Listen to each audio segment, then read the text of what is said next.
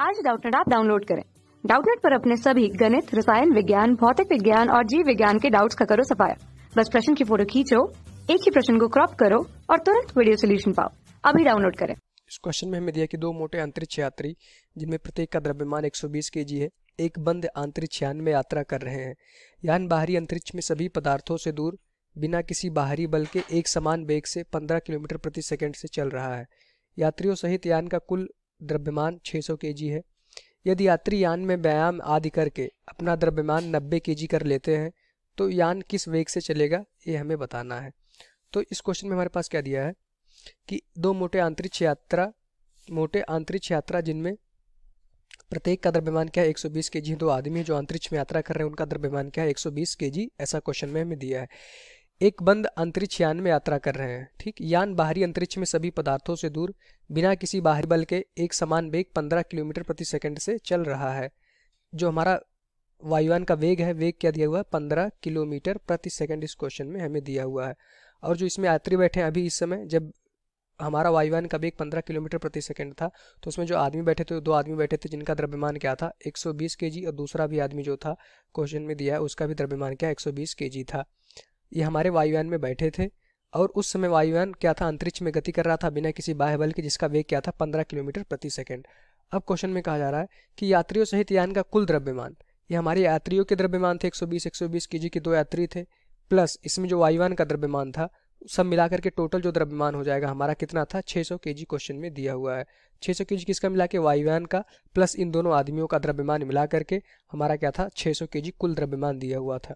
यदि यात्री यान में व्यायाम आदि करके अपना द्रव्यमान नब्बे के कर लेते हैं, ये हमारा शुरुआत कंडीशन था। बाद में क्या होता है? यात्री व्यायाम करके अपना ये जो द्रव्यमान था, क्या का था? यम वन का मान क्या कर ले रहे हैं? नब्बे के कर ले रहे हैं। और यम टू का मान क्या कर रहे हैं? नब्बे के कर ले रहे हैं। दोनों अपना द्रव्यमान क्या हो रहा है? घटा ले रहे हैं। व्यायाम करके यात्री दोनों अपना द्रव्यमान क्या किए? तीस तीस किलो घटा लिए हैं। तो यान किस वेग से चलेगा? तो इस केस में हमारा जो वायुवान का वेग होगा, उसका वेग हमें बताना है।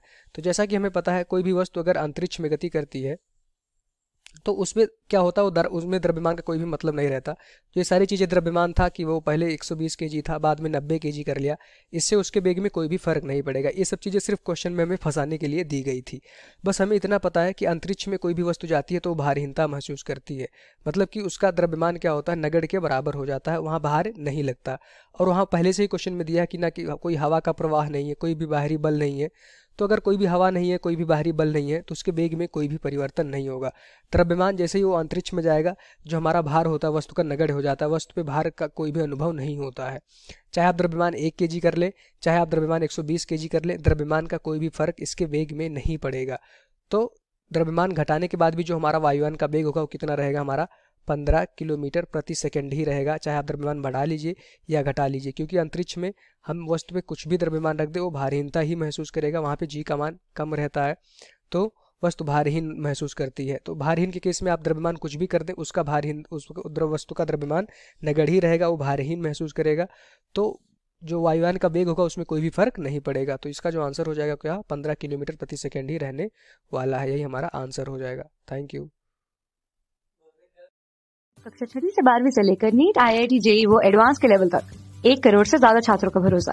आज ही डाउनलोड करें डाउट नेट ऐप या व्हाट्सएप करें अपने सारे डाउट्स आठ चार सौ चार सौ चार सौ पर।